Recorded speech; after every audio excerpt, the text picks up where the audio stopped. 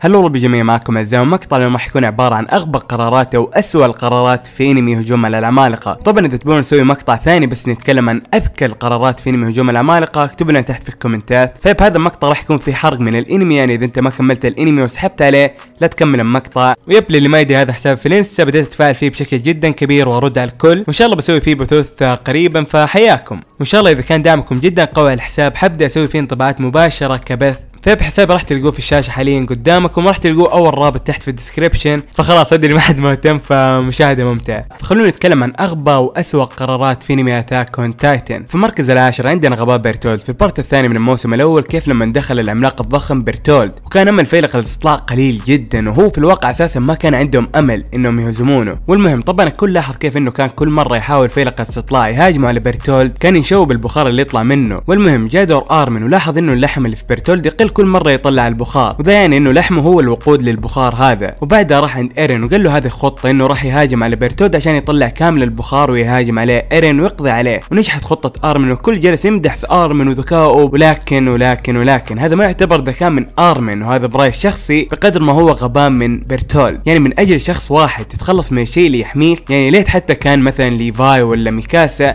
لا كان ارمن يعني حتى أتوقع ارمن ما كان بيقدر يقتل آه، بيرتولد والعملاق الضخم كان يقدر يقتل آه، ارمن بالراحة. يعني ما كان يستاهل إنك تضحي بكل البخار عشان ارمن وفي المركز التاسع عندنا غباء مارسيل. لا تحسب انه بيرتولد هو الوحيد الغبي في هذه القائمة. عندك مارسيل. نعترف بشجاعة مارسيل وإنه ضحى بنفسه عشان راينر. لكن ولكن ولكن لو شغل مخه شوية كان قدر يفلت بجلده هو والبقية. يعني يومر كانت عملاقه غبية ومرفوع عنها القلم. لكن آني وراينر ومارسيل كانوا يقدروا يتحولوا لعملاق وينهوا الموضوع مع العملاق الغبي واللي هو يومر يعني كان جدا غباء من راينر وآني وكلهم إنهم يهربوا. طبعا بيرتولد ما أقدر أقول له تحول للعملاق الضخم مرة ما ينفع. فكان يقدر أي واحد منهم يتحول وينقذ مارسيل وينتهي الموضوع. وطبعا أكيد في فئة من الناس بيقولوا طيب هم صغار فما راح يقدروا يقرروا هذا القرار. كيف ما راح يقدروا يقرروا هذا القرار؟ هم متدربين. يعني حتى يا ليت كان عملاق قوي لا عملاق غبي. يعني شفنا كيف لما إيرين تحول لعملاق كان راح يقتل فالكو خلاص.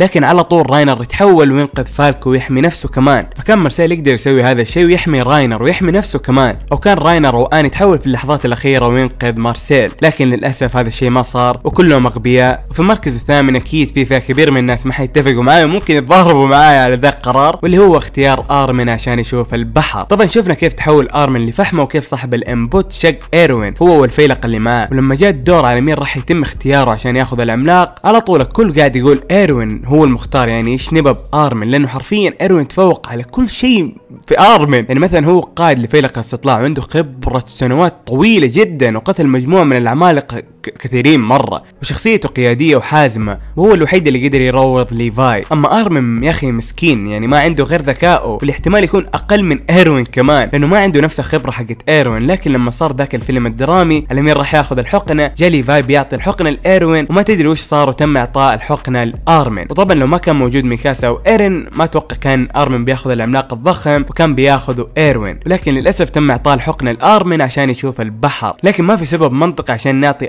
ارمن هذه الحقنة مكان إيروين. فكان ودي أشوف إيش بيسوي إيروين في الأحداث الحالية في المارلي وزي كذا يعني بالذات لما ارمن تحول في نص البحر هل إيروين بيقدر يسوي ذا الشيء؟ أحس شوية صعبه بما إنه هدفه إنقاذ البشرية. يعني إحنا شفنا كيف ايرين إنه ما صار مهتم للبشر أساسا.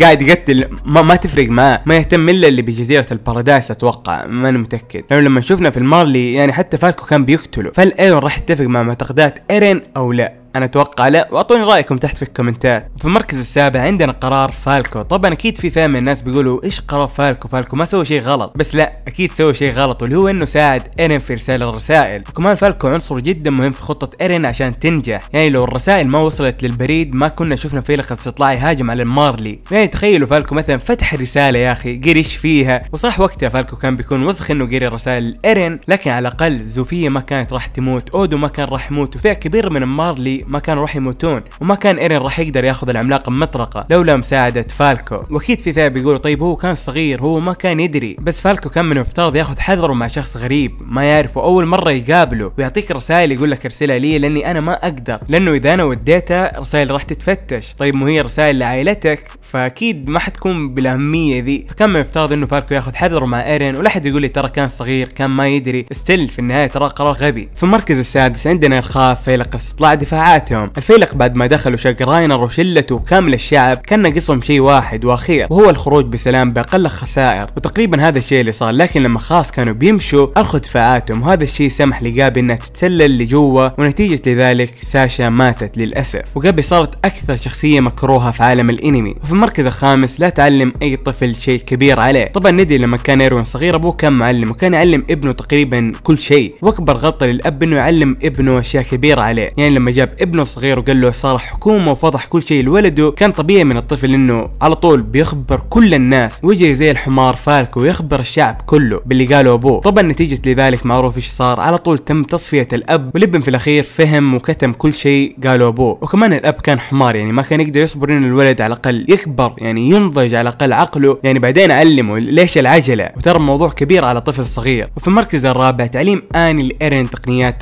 القتال. لما تم الكشف عن الصدمة والحقيقة كبرى من هو العملاق المدرع والعملاق الضخم على طول يأخذ إيرين ويعطي راينر لكمة. لكن راينر يقلب سايتاما ويفجر وجه إيرين وكي أو على طول. وراينر وإيرين يبدأ قتال بينهم. والمهم حال القتال كله كذا. إيرين يحاول يهجم راينر وراينر يمسح فيه الأرض. وإيرين كل مرة يحاول ينداس كالعادة الا ما وجد طريقة عشان يتصرف فيها وهي تقنيات آني. طبعا آني علمت إيرين تقنيات كثيرة في القتال وذا كان خطأ جدا كبير. إن حتى إيرين شخصيا قال لهم إنه أنتم خطأكم إنكم علمتوني أشياء كثيرة. وفي لحظة ينقلب القتال وايرين يطرح راينر ويقطع له ذراعه. وتيجي ميكاسا من ورا وتعطيك واحدة شاورما راينر. وهنا كان القتال محسوم؟ لكن للأسف بيرتولد يتدخل ويرمي نفسه على طول على ايرين وانتهى القتال. صح إنهم أخذوا ايرين لكن لو كان راينر لوحده كان انتهى من زمان. وفي المركز الثالث عندنا آني وآرمن. القصة وما فيها ظهرت العملاق الأنثى وقامت تدعس كل اللي في طريقه. واحد واحد كأنهم صراصير. وكان الهدف هو اختطاف ايرين وجلست تجي وراهم دعست على الكل إلى ما وصلت لمبتغاها. ولكن فجأة تشيل الغطاء من فوق رأس ايرين وهذا اللي كانت تحسبه وما طلع ايرين طلع ارمن فلما طلع إنه ارمن تركته وقامت تجي تدور هدفها. ولكن أكبر خطأ سوته اللي هي إنها تركت ارمن وذا على طول أعطى فرصة لارمن إنه يعرف مين هو العملاق الأنثى. وهي طلعت اني فأكبر غلط سوته اني إنها ما دعست ارمن زي الصرصور. وفي المركز الثاني عندنا إهمال والد هستوريا لها. أبو هستوريا كان نتيجه لإهماله بنته انها استغنت عنه وبعته وصارت عاقلة. ليه؟ وهي كانت مهمة بالنسبة له. شوفوا هستوريا أغلب حياتها عاشت بدون أب أو أم. وكانت طفلة غير شرعية وأبوها سحب عليها وأمها تكرهها وتركتها. وذيك الام الكلبه قتلها كيني. ودحين خلاص جت دور على هستوريا. ولكن تدخل أبو هستوريا واستوعب إنه اوه عندي بنت وهي مهمة أساسا. فبعد ما أهملها وتركها إلى ما كبرت بعدين جاي يحاول يغسل دماغها ويخليها تمشي حسب مزاجه. وفي النهاية الحمد لله تفلت في وجهه وسحبت عليه. وهي أصلا الشخصية اللي قتلته. والعبره من القصة دي هذه هي نهاية الأب اللي يهمل أولاده. وفي المركز الأول الابن العاق. نفس الحال مع إيروين لكن ذي المرة مع زيكي. والمهم أبو ايرين لما انضم للمجتمع السري اللي هو ضد مارلي أكبر خطأ هو لما قرر جريشا وزوجته انهم يعلمون ابنهم حقيقة المارلي. والصراحة زيكي ما كان أبله زي فالكو وايروين لا كان عارف إيش جالس يسوي. ولما فضح أبوه وأم الولد العاق كان داري. ما كان ابله ومغيب عن الواقع. ونتيجة القرار هذا تم تحويل أمه وأبوه لعمالقة. ما أدري إذا هو كان يدري عن ذا الشيء ولا لا. والمجتمع السري انهار وتدمر وهلك تماما. وامه بعد ما كانت امرأة جميلة وأم حنونة صارت وحش قبيح. وبعد مرور سنوات يجي الابن البار إيرين ينتقم من العاق زيكي. هو صحيح إنه إيرين أكل أبوه عشان ينتقم له لكن ذا منطق اللي مش أسوي عاد. وبس كذا راح تكون نهاية المقطع؟ أتمنى إنه هذا المقطع بيعجبكم وانشروا المقطع في كل مكان وإذا عندك قرار تشوفه غبي أو سيء اكتب لنا تحت في الكومنتات واكتبوا لي كمان هل تبون نسوي عن اذكى قرارات في انمي هجوم العمالقه أو لا. فبس كان معكم عزام سمباي وهيا.